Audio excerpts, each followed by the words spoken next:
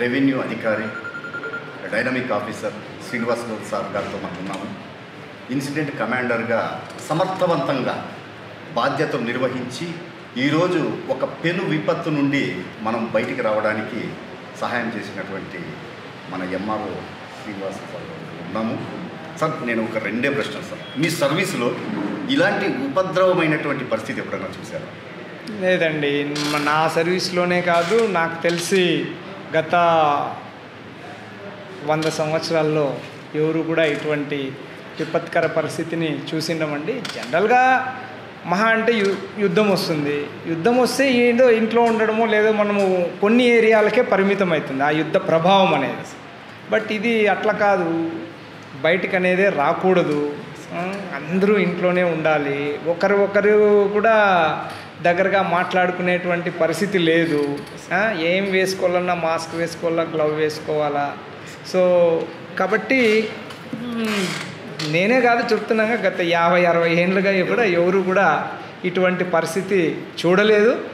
భవిష్యత్తులో కూడా ఇటువంటి పరిస్థితి రాకూడదని సమ కోరుకోవాల్సిందే. సార్ ఇంకొక ప్రశ్న సార్. మేము మన హిందూపురం ఛానల్ ద్వారా పట్టణంలోనే కాకుండా వివిధ గ్రామాలు తిరిగాం. మీ పరిధిలో ఉన్నటువంటి గ్రామం. నిజంగా చెప్పాలంటే we feel very happy compare to awareness of the Hindupur పీపుల్తో compare చేస్తే విలేజెస్లో చాలామంది మాస్కులు ధరిస్తున్నారు సోషల్ డిస్టెన్స్ మెయింటైన్ చేస్తున్నారు. మన పట్టణంలో కేసులు అధికంగా రావడానికి పల్లెల్లో కేవలం బసవనపల్లి తప్ప ఎక్కడ కూడా కేసులు నమోదు కాలేదు. ఈ విలేజెస్లో మీరు అడ్మినిస్ట్రేషన్ పరంగా మీరు ఏ విధమైనటువంటి ముందు జాగ్రత్తలు తీసుకోబట్టి ఇన్ని విలేజెస్లో కూడా ఎక్కడ కేసు నమోదు కాలేదంటే ఆ credit post as a incident కమాండర్గా మీకే చెందుతుందని. It's a feedback from the Hindupur people. Villages ఎక్కడ స్ప్రెడ్ కాలేదు. దానికి ప్రత్యేకంగా మీరు ఏమైనా చర్యలు ఇది మంచి పాయింట్ అండి. యాక్చువల్గా మొదటి కేసు మనకి ఏ రోజైతే ఇదివరలో చెప్పినట్టు మార్చ్ ట్వంటీ నైన్త్ మనకి ఎప్పుడైతే కేసు రిజిస్టర్ అయిందో ఆ రోజు నుంటే మొత్తం మనము హిందూపురంలోకి ఎంట్రీ ఎగ్జిట్ని బంద్ చేశాం. జనరల్గా ప్రభుత్వ నియమ నిబంధనల మేరకు ఒక కేసు ఒక ఏరియాలో వస్తే అక్కడ నుండి మూడు కిలోమీటర్ల పాటు దాన్ని అంతా మనము కంటైన్మెంట్ క్లస్టర్ అంటాం. సో హిందూపురంలో మొట్టమొదటి కేసు మనకు టిప్పు కాన్ స్ట్రీట్ వచ్చింది డంకా స్ట్రీట్. సో అక్కడి నుండి త్రీ కిలోమీటర్ రేడియస్ తీసుకుంటే it's all covers municipality. So ఆ మున్సిపాలిటీని మొత్తం బ్లాక్ చేయడం వల్ల అంటే బయట వాళ్ళని ఎవరిని ఇక్కడ రానీకపోవడం వల్ల ఆటోమేటిక్గా అక్కడ స్ప్రెడ్ అనేది తగ్గిపోయింది. ఇది అంటే తహసీల్దార్గా నేను చేసింది ఏమంటే కలెక్టర్ గారి ఇన్స్ట్రక్షన్స్. ఇది ఇన్స్ట్రక్షన్స్ ఆఫ్ ద గవర్నమెంట్. వాటిని మనం కరెక్ట్గా ఇంప్లిమెంట్ చేయడం జరిగింది. తర్వాత ఈ బసవనపల్లిలో వచ్చిన కేసు కూడా అక్కడేం రాలేదు. ఆ వ్యక్తి ఇక్కడ హిందూపురంలో ఒక ఆటోలో ప్రచారం చేయడం వల్ల వచ్చింది కానీ ఆ విలేజ్లో అది కూడా రావాల్సినటువంటి కేసు కాదు. సో అదండి ఇన్ని రోజులు మీరు ఇక్కడ వర్క్ చేస్తున్నారు దాదాపు రెండు నెలలుగా మీ ఫ్యామిలీకి ఏమైనా దూరం అయ్యారా? యాక్చువల్గా ఈ మొత్తం సుమారుగా యాభై ఆరు రోజులు అయిందండి ఈ రోజుకి. మనకు ఈ లాక్డౌన్ ప్రకటించి. అప్పటి నుండి ఇప్పటి వరకు కేవలం ఒక్కరోజు మాత్రమే మా ఫ్యామిలీని చూడడం జరిగింది నేను. ఇంకా రిమైనింగ్ టైం అంతా ఇక్కడే ఉండాల్సి వచ్చింది. పోవాలన్నా పోలేని పరిస్థితి. రోజు ఇక్కడే అరౌండ్ ట్వెల్వ్ థర్టీ అట్లా అవుతా ఉంది. ఇంకెప్పుడు ఫ్యామిలీకి కేటాయించడం జరిగింది సో దట్ ఈస్ కేవలం ఒక్క రోజు మాత్రం మీ ఫ్యామిలీ చూస్తుంది. దట్టు ఆ రోజు మా పెళ్ళి రోజు అవడంతో బలవంతంగా పోయి రావడం జరిగింది. సో లేకపోతే అది కూడా పోయొచ్చే అవకాశం కూడా ఉండింది కాదేమో.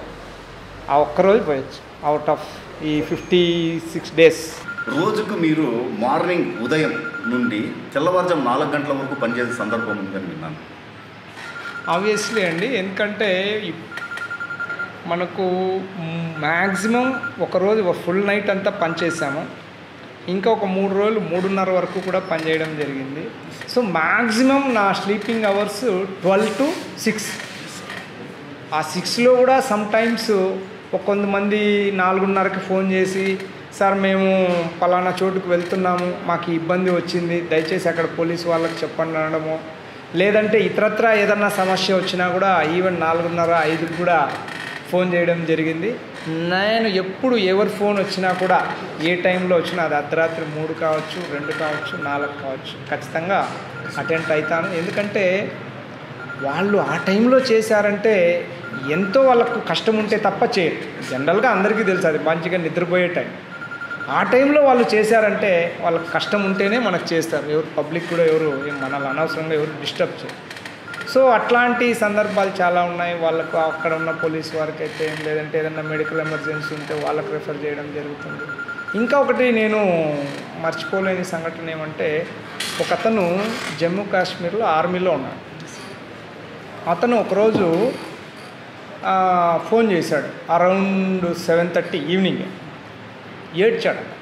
సార్ మా నాన్నగారు ఒక్కరే ఉన్నారు ఇంట్లో ఆయనకు హార్ట్ ప్రాబ్లం ఉంది.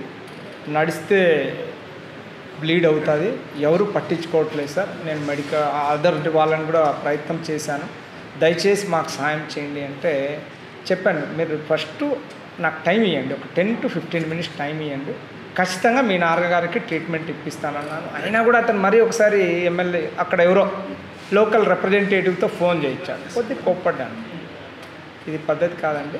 నాకు మీరు టైం ఇవ్వకుండా ఎవరితో ఫోన్ చేయించినా నేను యాక్ట్ చేయగలిగే టైం అనేది నాకు మినిమం కావాలి అని చెప్పాము. విత్ ఇన్ ఫిఫ్టీన్ మినిట్స్లో వాళ్ళ ఇంటికి అంబులెన్స్ పంపి అతన్ని హాస్పిటల్కి చేర్చి ఆ హాస్పిటల్లో నుండి వాళ్ళ నాన్నగారితో అతనికి ఫోన్ చేయించి అతను కన్నీళ్ళు పెట్టుకొని చెప్పాడు సార్ మీరు ఇంత తొందరగా స్పందిస్తాలేనండి సో అట్లా రకరకాల ప్ర ప్రతిరోజు నాకు సుమారుగా మూడు వందల కాల్స్ వస్తుంటాయి. సార్ అక్కడ వాళ్ళు రెస్పాండ్ కాలేదు ఇక్కడ వాళ్ళు రెస్పాండ్ కాలేదు. సో ఎవరు వచ్చినా కూడా మన ఉద్యోగ నిర్వహణలో ఎవరు కూడా ఊరికైతే ఏం ఫోన్ చేయరు. నాతో ఏదో కబుర్లు చెప్పుకోవడానికో లేదంటే వాళ్ళ ఏదానికి కాదు. కష్టం ఉంటే తప్ప ఎవరు ఫోన్ చేయరు.